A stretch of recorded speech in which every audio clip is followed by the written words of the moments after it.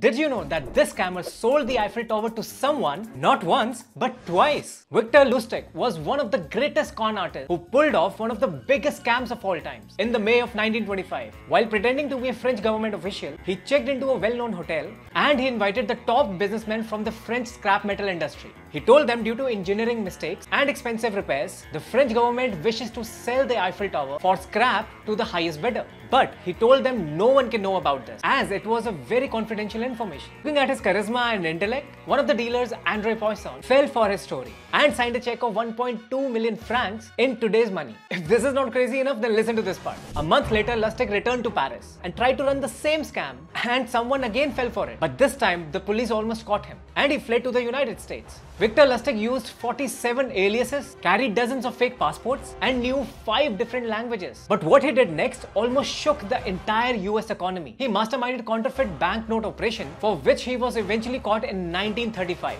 and he was announced as America's most dangerous con man alive. Later he was sentenced for 20 years and in 1947 he died of pneumonia in jail. Tell me in the comments if you knew about this scam.